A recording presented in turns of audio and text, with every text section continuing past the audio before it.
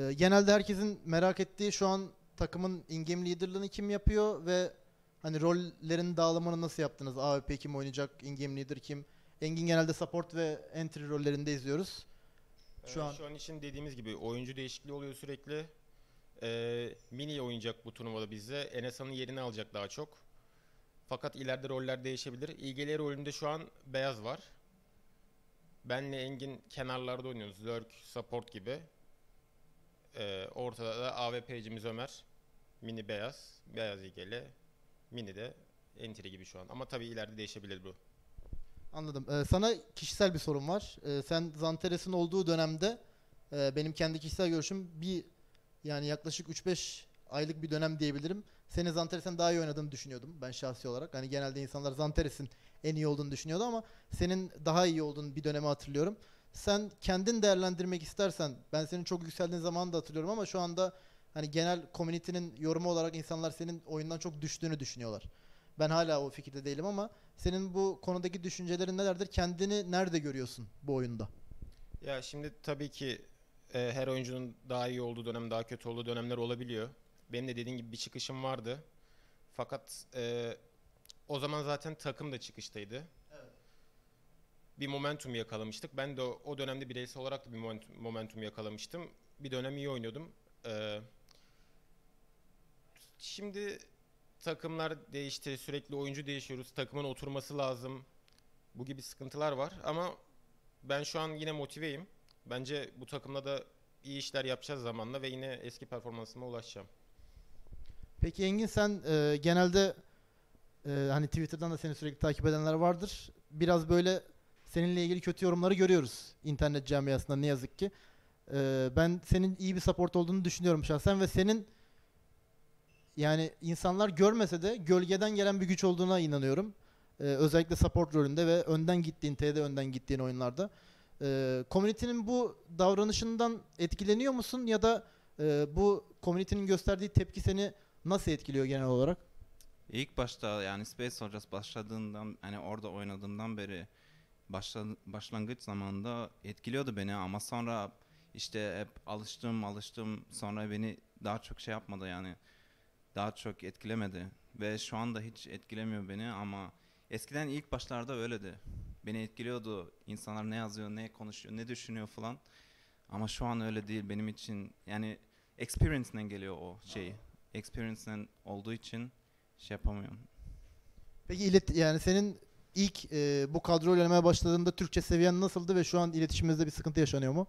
İletişiminiz e, benim Türkçem hala daha çok iyi değil ama e, beni herkes anlıyor. Ne ne söylediğimi anla- anlıyorlar zaten ve galiba onlarda da sıkıntı yok. Ama daha iyi oldu benim Türkçe. O zaman e, Ahmet'e şu kritik soruyu soruyorum. Ahmet artık zamanı geldi. Milyonlarca insan akıllarda tek soru. Neden FPL oynamıyorsun? FPL karma bir oyun. Bilmiyorum ben genelde daha çok takımla oynamayı seviyorum. Tanıdığım insanlarla beraber oyun kurmayı seviyorum. FPL biraz daha bireysel. Ama bu değişebilir tabii. Peki hani FPL oynamadığın zamanları nasıl değerlendiriyorsun bireysel anlamda? Demo izleyerek genelde ya da DM oynayarak. Maçları takip ederek, metayı takip ederek. Anladım. Sen zaten sürekli FPL'den ayrılmayan bir insansın Engin. Yani FPL'deki ortam senin oyunun üzerinde nasıl bir etkide bulundu ondan bahsetmek ister misin biraz?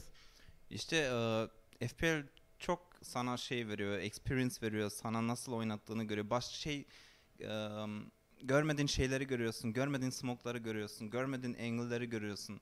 Yani her her pro oyuncuya tercih ederim onu oynamaya ve seni daha iyi yapabiliyor yani FPL oynadığın zaman. Ee, peki yeni katıldığınız kulüp hakkında biraz söylemek gerekirse e, kulübe katıldınız. Türkiye'de herkes kendi evinden mi oynamaya devam edecek? Bir süre sonra bu kadro yani belirli bir seviyeye ulaştıktan sonra birlikte yaşamaya başlaması gibi bir durum söz konusu mu? Şu an için hiçbir fikrim yok ama ileride ya şu an herkes evinde ama ileride değişebilir belki de bilmiyorum. Şu an için bir netlik yok. Peki olur da buradan çıkarsanız Dubai'ye giderseniz oradan da Çin'e gitmeye hedefliyorsunuz tabii ki. Ee, hedefiniz şampiyonluk yani bildiğim kadarıyla. Evet her zaman birinci olmayı hedefliyoruz. İnşallah. Bur- buradaki diğer takımlardan da yani ya az çok aşinasınız. Hepsini aşağı yukarı tanıyorsunuz. Onlar hakkında ne söylüyorsun peki?